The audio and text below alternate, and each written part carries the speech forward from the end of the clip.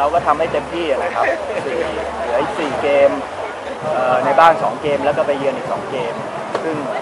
สี่เกมจากเนี้ยเป็นเกมที่ค่อนข้างที่จะหนัก แต่ผมเชื่อว่าถ้าเด็กๆเล่นกันด้วยความตั้งใจ แล้วก็มีความกระหายที่จะชนะแบบเนี้ยคิดว่าเรา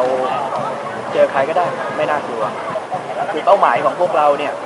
ตอนเปิดฤดูกาลเราก็มีเป้าหมายเอาไว้ว่าปีนี้ต้องไม่ตกชั้น เพราะว่าทีมที่ตกชั้นเนี่ยมีถึงเป็นทีมด้วยกันในเลขสองก็จะดูนะครับว่าในตำแหน่งไหนที่เรายังขาดไป แล้วก็เรายังไม่สมบูรณ์เต็มที่นะก็จะพยายาม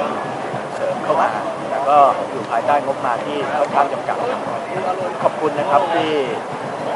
แฟนๆได้ เสียสละเวลาแล้วก็เดินทางตามมาในทุกๆเกมที่เราไปเยือนนะครับก็บอกกับพวกเราครับว่าจะพยายามกระตุ้นน้องๆ ให้ทำให้เต็มที่แพ้ชนะไม่ใช่เรื่องใหญ่หรอกครับ เรื่องใหญ่อยู่ที่เมื่อเขาลงไปแล้วเนี่ยเขามีความกระหายเขามีความอยากจะเล่นแค่ไหนผมจะพยายามกระตุ้นให้เต็มที่